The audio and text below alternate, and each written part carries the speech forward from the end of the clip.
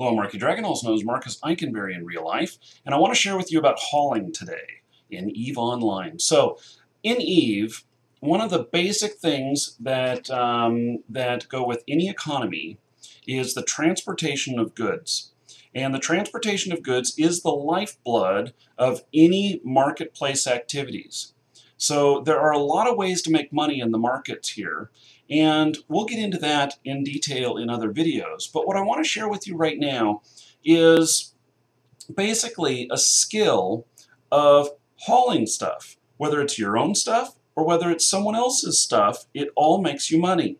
Now, it is very, very difficult to use hauling as a primary source of income to plex your account without billions in outlay, and I mean billions. With a jump freighter, you can do it. The risk is very, very high though, and jump freighters are like four and a half billion ISK just to buy.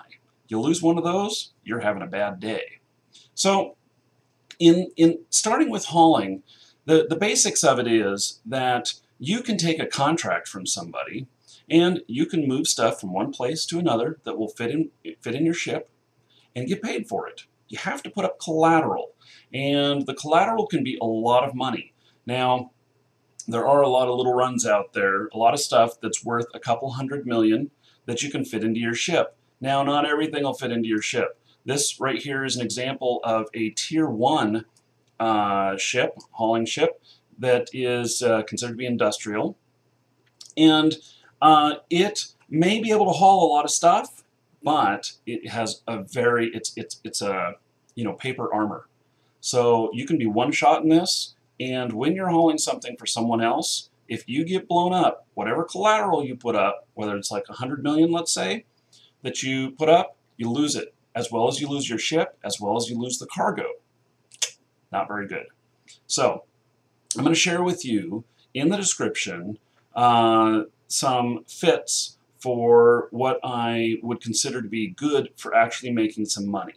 And um, now, like I said, these don't uh, qualify as totally being, you know, to play for free. This is an add-on to anything that you're doing so that you can increase your income. So just call this all bonus. And because the other stuff, you're doing it anyway, and you're, you're buying stuff, you're taking your faction warfare goods, bringing them to market, you're selling stuff, and you got to move that stuff. If you have room left over and there's a contract available, you may as well pick up that stuff and move it with it as long as the risk is not too high. Okay, so let me just go over some ships really quick. This is Tier 1. I don't recommend doing uh, much high dollars in Tier 1. Maybe 100 million, maybe 200 million at the max, especially if you have to go through Uedama or Niarja. Uh, both of these both of these sectors are pinch points where code and goons uh, watch for freighters and they will kill you if they think that your value that you have in your ship is worth them taking a loss of a ship and then being able to pick up the items. So the formula kind of goes like this. If they can lose their ship that's worth 100 million and you're carrying say 400 million worth of stuff on you and they blow you up the other guys are able to come in, swoop in, pick up the stuff. If they think they can pick up 200 million worth of stuff, then they're going to do it. They're going to blow you up, even in high sec. It even happens at JITA, which is, I believe, a 1.0 high sec system. It happens everywhere. And so you got to be very leery of that, uh, including being leery of fake contracts that are just set up to gank. I will show you one of those before the end of this video. So um, here we go. We've got um, we've got a lot of um, uh, contracts or not contracts, uh, a lot of different ships here.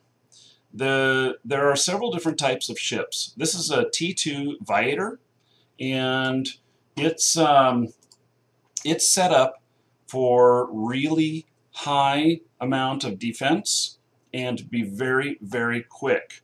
These ships are not cheap.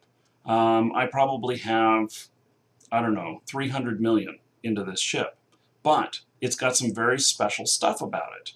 One, okay, so it can hold 4,500 in here. It's not a very, uh, it's not very big, But there are a lot of contracts out there, I kid you not, that the value on them is a couple of billion, and they're like 10 units, 10 M3. I mean, they're very, very small. It might be some sort of blueprint or whatever. And one of the really nice things about the uh, about the Viator, and and this is included in all of the blockade runners, that uh, the blockade runners cannot be scanned. The cargo cannot be scanned. I can't stress that enough. If you want to take something out and you want to have the security of knowing that nobody knows what you have in your cargo hold, which is very, very important for not getting ganked. Now, if you're going into low sec or null sec, that's a whole different story because they'll hit you no matter what. But in high sec, they want to know whether or not the amount of losses that they're going to take to kill you is worth it. If they can't scan you, they don't know, and most likely, they're not going to do anything to you. So, this one is set up to be very quick. Now, most of you fly around and you fly around. Let's say you fly around in a shuttle. They're like 3 AU in speed. This one is 8.25. Um, that's pretty high, pretty high speed. And its um, its navigation speed here is is it's very quick. It's very quick. But at the same time, these um, these things. This is a bit of skill to get to this. So you can take these fits and you can do them up as, as best as you can. You may have to go tier 1 stuff or lesser stuff until you're higher skill.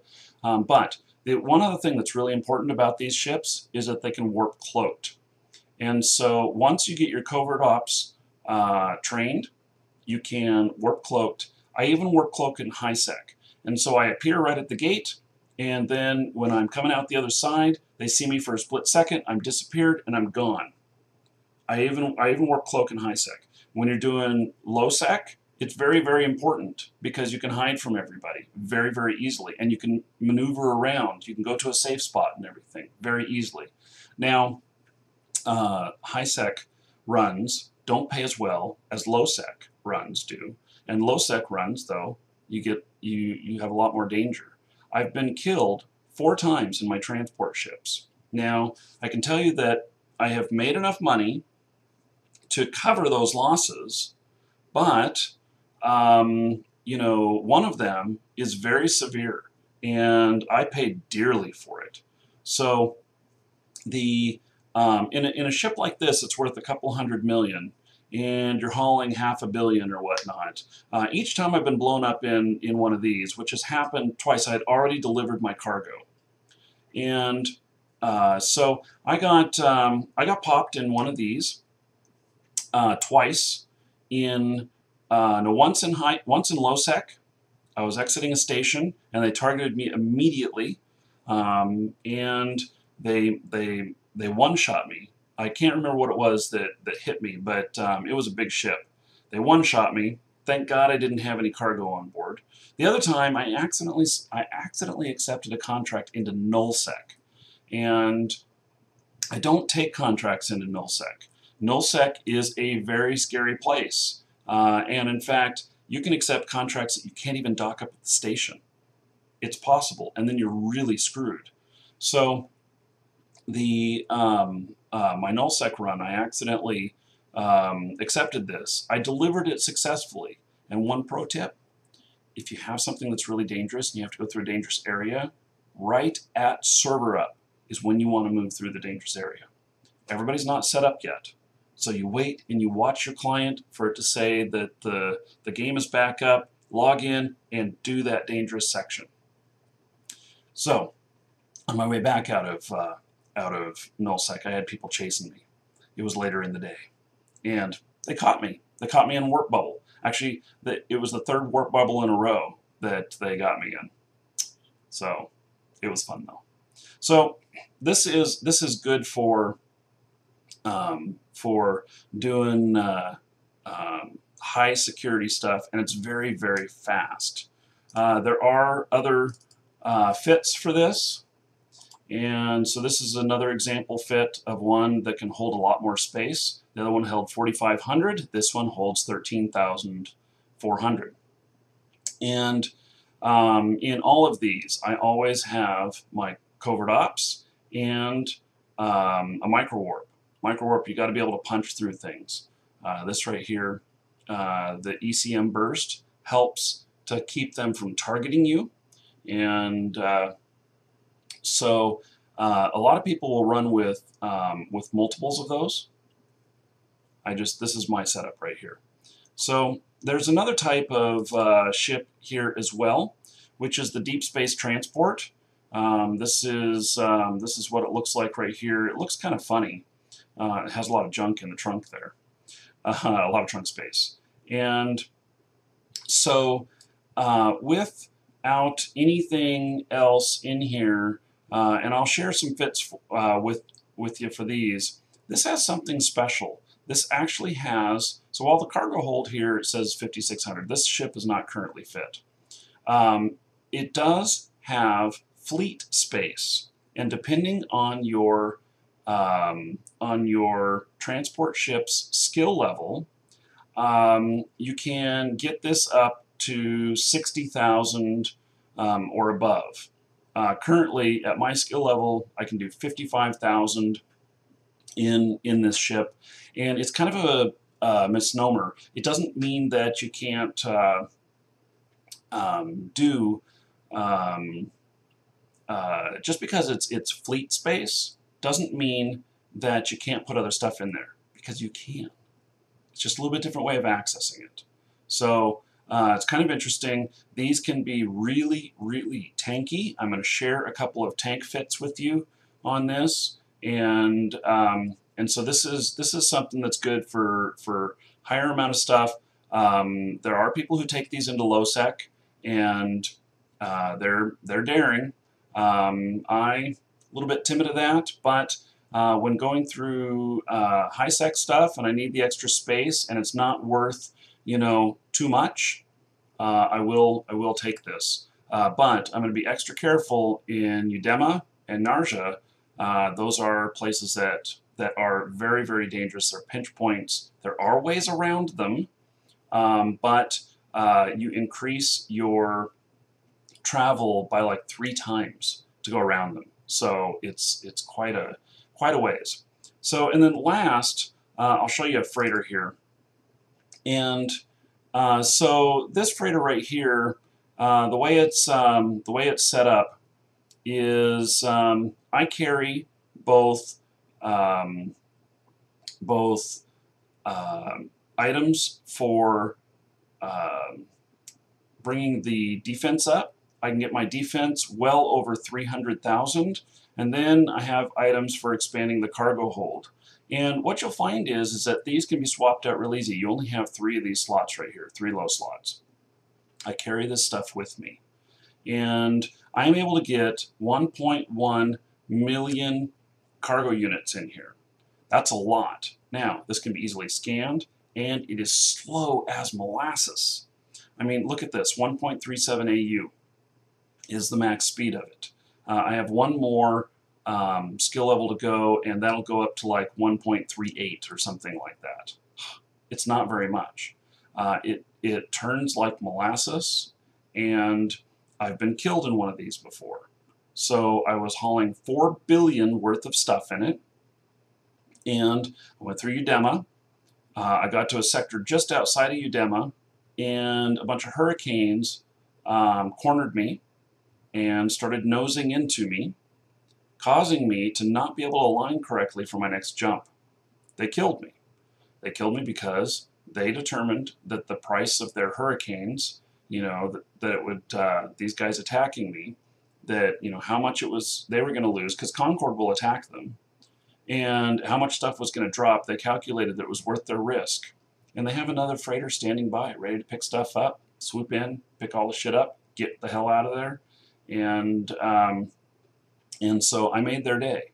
Uh, I took a 5.3 billion ISK loss that day because the stuff that I had on board was was had collateral of 4 million and then the ship is worth over 1.3 billion.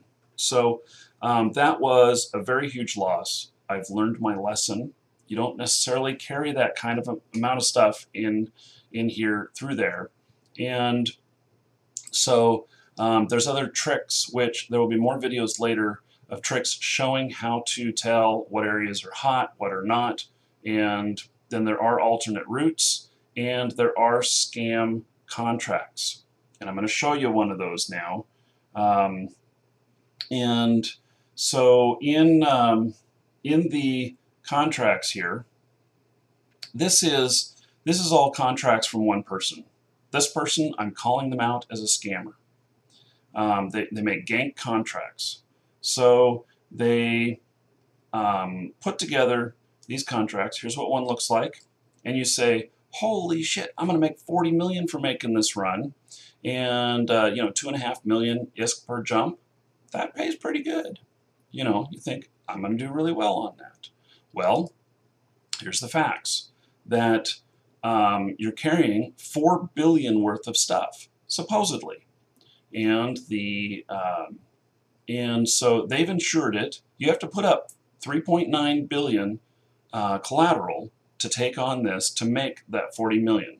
So you accept the order, and then you you take and um, you have to have this collateral on hand to cover it, and so that deducts from your bank account, and then you have the cargo, you take it, you run it when you deliver, you get your collateral back and you get the payment. Seems fair enough. Well, in, the in this case, what we've got here is we've got somebody who is uh, taking uh, these items. This person right here is putting items in there that are worth less than two billion, and they're valuing it. They're overvaluing it um, at um, at 3.9 billion on this. I've seen other contracts he's done where he values it at 4.9 million or billion and pays only 30 million. And what you can see here is a pattern. And this is this is a classic gank pattern. So Amarr to Dodixie and Dodixie to Amarr. This causes you on its route to go through both Niarja and Uedama. And if you take the short way, the long way is well over 30 jumps and takes you down through Hek. And uh, Hek is an area where there's a lot of um, 0.5 security sectors. That's a problem. So the um, so either way, you're kind of screwed. And so what he's done here is he is hoping that uh, that you are going to get killed along the way and he's playing the odds. So what he's done is, is he's paying about 30 million per jump. This is an older one. I'm not showing you some of the other stuff. Um, and then a lot of stuff he's, he's doing at 4.9 billion. So he's paying out to have this stuff moved. So he has an investment of less than 2 billion in the items that are in there. And then he values it like 4.9 billion and pays out 30 million and I counted it up, and in 46 runs, he's had one success of a ship getting killed, and he made um, about half a billion to a billion, somewhere in there. So what he's done is he's set this up so that it so that it's dangerous. And I wouldn't doubt at all that once a contract is accepted, that he tells it either himself or his corp or whatever put this person on the watch list. When they come through, they're worth a lot. I'll pay somebody a hundred million if they get the kill shot. Something like that. And then everybody's looking for this particular person who's doing this run. Now, how did I figure out that this was suspect? Look at this. So if you go if you go Amarr to Dixie and it's this, it's 920,525. Another one, 900, these are the exact same size. And, um, and so he put up two contracts, two people took them. And then Dodixie to Amarr. And then Dodixie to Amarr, they're the exact same size. Dodixie to Amarr, Amarr to Dodixie, they're all the same size. You want to know why? It's because as soon as it arrives at one station, he just packages the same stuff up again and sets it right back out to the other station. And there's plenty of people who are willing to do these, not knowing that they're actually putting themselves in danger. Now, um, I had accepted one of his contracts and realized what was going on. You don't know what's in these until you accept it. And so he could have a 4 billion, 5 billion valuation on something, and then you see that it's just a station container in there or something else. And you're thinking, holy shit, this thing's worth a million. Now, part of part of his, you know, what he needs to do is he has to put value in there to make you a juicy target. And at just under 2 billion in in value in there is kind of like the the breaking point of where the ship might be attacked. So for 1 billion, ship probably is not going to be attacked. For 2 billion, yeah, you may be. For 3 billion, you've got to be careful. For 4 billion, yes. And there are people, I kid you not, who run tens of billions through these channels sometimes, and I think that they are nuts. Don't don't run it if you can't afford to lose it. So that is um, that is a uh, fake contract. Now let me show you how to actually look up contracts here. Now um, in here we've got available contracts and um, so I'm going to look at all regions and if let's just say that I'm using my small little ship that um, that is really fast but only holds 4,500 so, and I'm willing to go in high sec and low sec. Null sec, no. I've got that unchecked. So, uh, I can put in here, I'm willing to do a run for as little as 2 million. Like if there's, you know, my character's currently at JITA, let's say I'm running next door uh, to perimeter or something like that, and um, they want to pay 2 million for it, sure, why not? It's, it's an easy little trip. Okay, so 40, 4,500 is my max that I'm putting in here. And this way you can only see stuff that you're capable of running too. And if you are just starting out, you may want to filter by saying, okay, I don't want to hold more than 100 million worth of stuff. Okay, so I'm doing this. Okay, now it's all regions. And what I want to do is I want to filter by reward. So here's one that is, oh, look at this. This is perfect. So, well, maybe not so perfect, but um, it's only five units. And at that five units, uh, you can fit that in any ship. In fact, you can fit that in a shuttle, although I don't recommend carrying 700 million worth of stuff in a shuttle, although the likelihood is that you're probably not going to be scanned by another player while you're in shuttle. It's 32 jumps and it pays a 10 million reward. And um, let's see here. It's all in high sec. So you could do it. So it pays 312 um, 312,000 ISK per jump, which is not very high.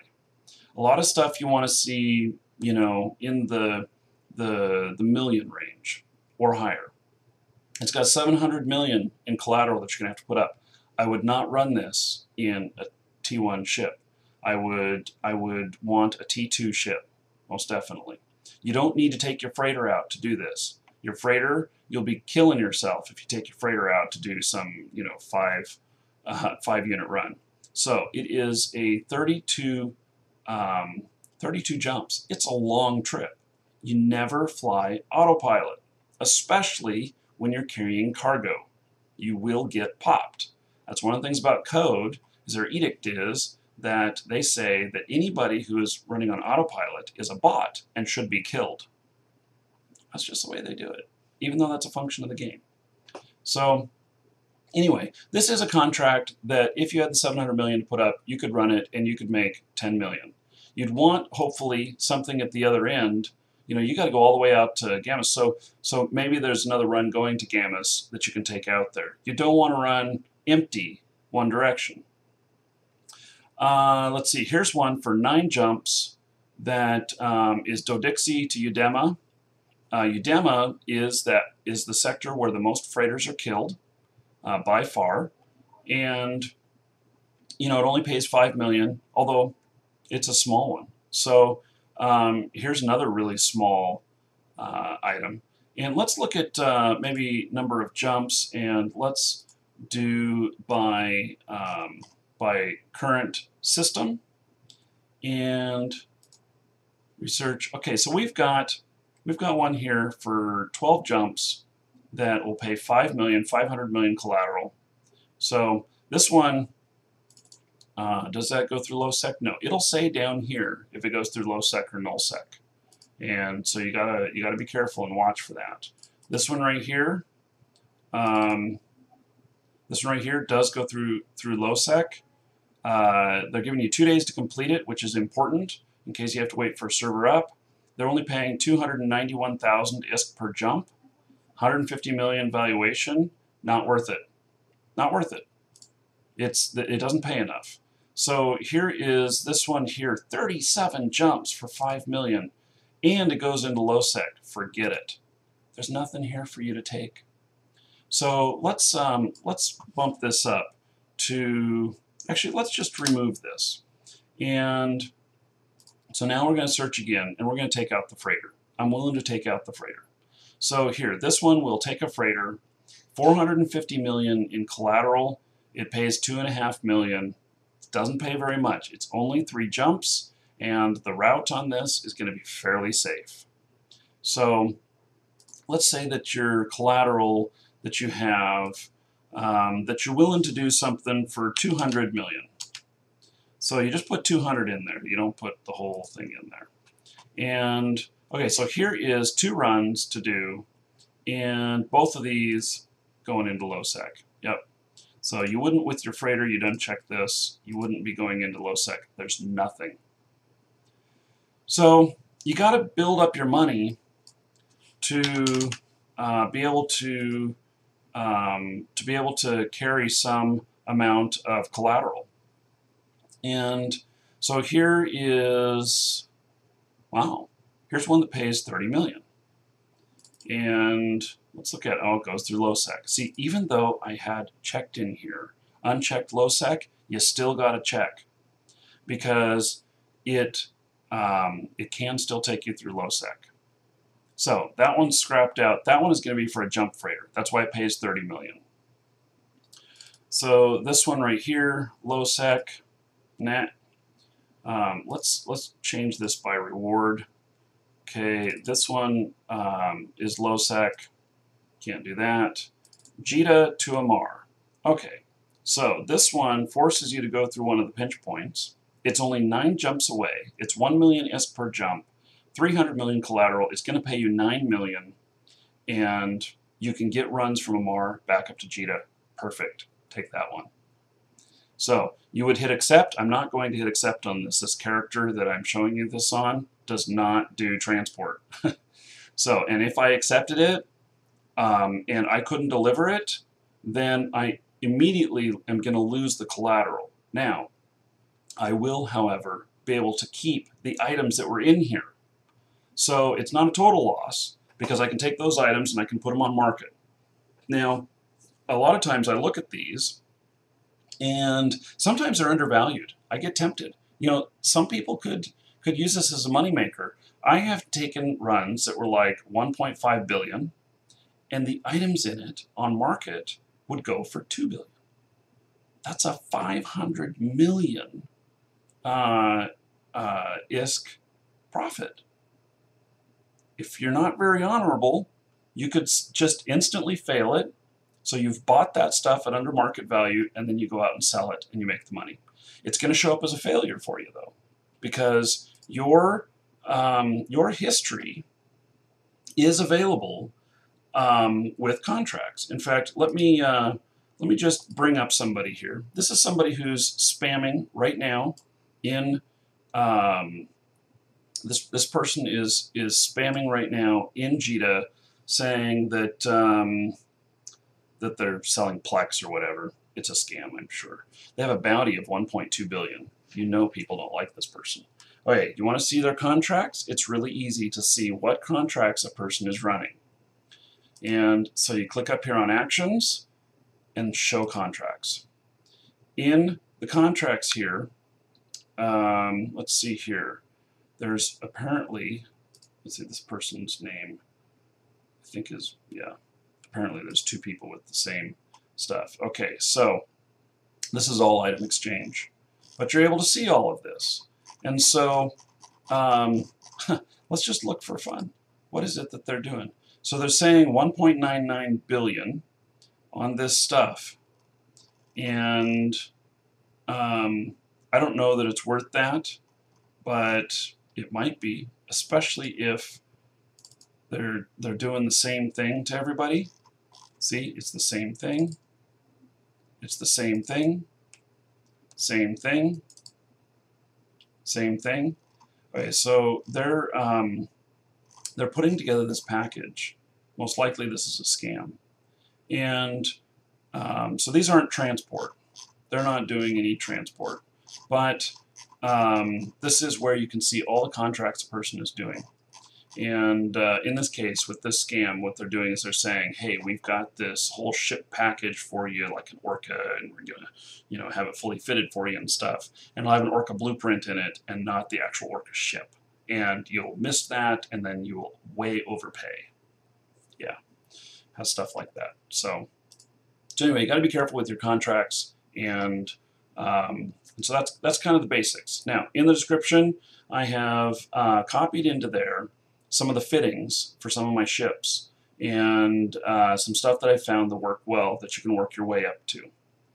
The You're able to copy and paste those back into the game to import them from clipboard so that uh, you don't have to go searching for each individual item.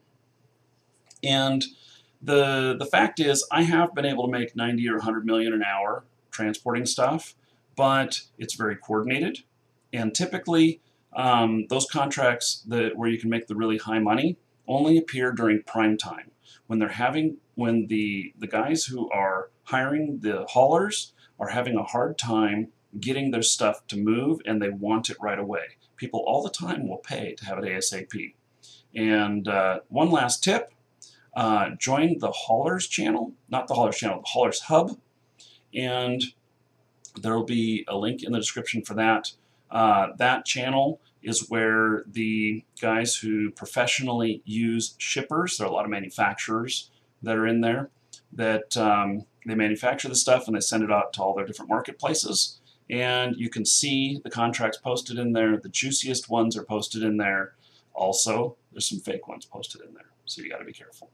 Anyway, hope that helps get you started on hauling. I'll have more videos later on very specific techniques with each of the hauling things, you know, more on how to accept contracts, more on on how to fly these different ships because you take thing, different things into account. So I may do some videos just specifically on each type of ship.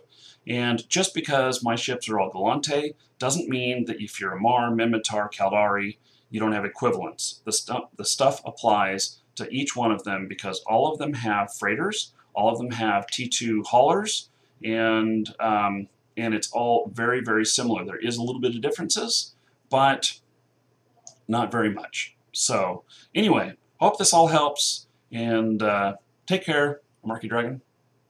Happy hauling, and fly safe.